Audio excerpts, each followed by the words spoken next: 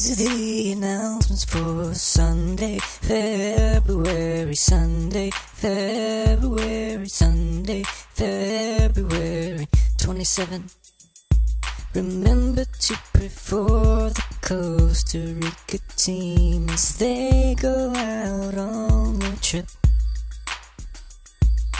If you are a single, then there is a meeting for you on Sunday at 6.